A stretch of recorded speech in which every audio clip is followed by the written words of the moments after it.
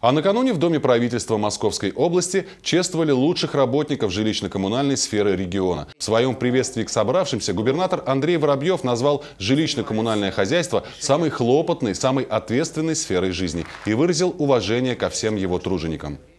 Хочу поздравить всех, всех, кто задействован в этом непростом, ответственном, сложном, традиционно проблемном в России направлении – и хочу выразить уверенность, что с каждым годом наши профессиональные навыки, наша ответственность, наше мастерство, а, современные методы управления позволят разрешить огромное количество проблем, которые существуют.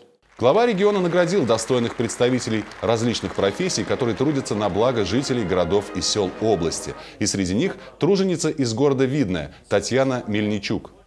Орденом за заслуги перед Московской областью третьей степени награждается Мельничук Татьяна Александровна, начальник участка Видновского производственно-технического объединения городского хозяйства Ленинский район.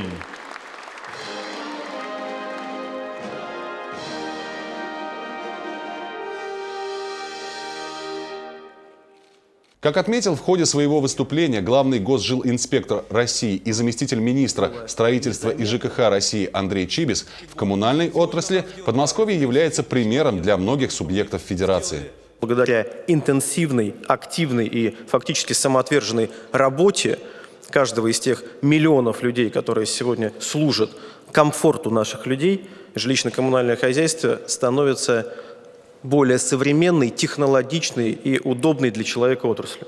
После торжественного заседания все его участники смогли осмотреть открывшуюся в Доме правительства выставку под названием «ЖКХ меняется», на которой лучшие производственно-технические предприятия региона представили свою продукцию.